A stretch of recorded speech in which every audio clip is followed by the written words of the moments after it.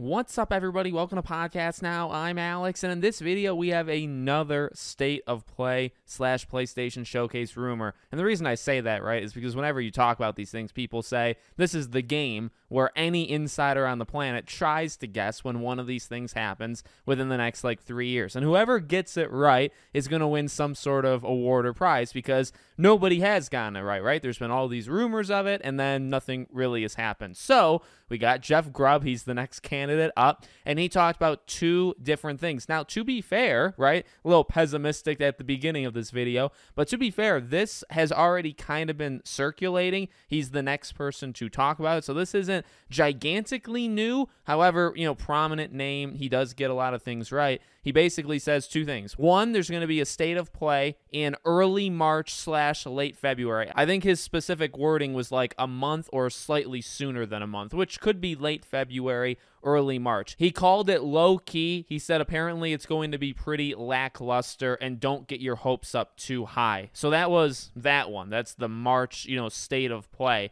So probably just one of these focused ones, right, where it's games that, you know, some people are going to be into, some people aren't, but it's not going to be it's not going to make a big bang, right? And then he talks about well, they're holding off on showing other things because they're going to do something around the June E3 time and it's going to be a PlayStation showcase. So, don't want to get too excited. Don't want to like say it as gospel, but that would be absolutely incredible. And that's kind of what we all want, right? You've probably seen the memes online of like Nintendo and Xbox partying or that SpongeBob meme where Squidward is, you know, in his house and he's PlayStation. He's looking at these two having fun. And that's kind of the situation, right? We had our Nintendo Direct. It was fantastic. We've had Xbox things. We're going to have more Xbox things as uh, the time goes on. And then Sony's over there, right? Now they're doing that Super Bowl ad. So that's, I suppose, one one thing. We'll see if that's even something that's big, but at least this would start to kickstart it. Now, the June idea, right? If you do Spider Man 2 in June, that would be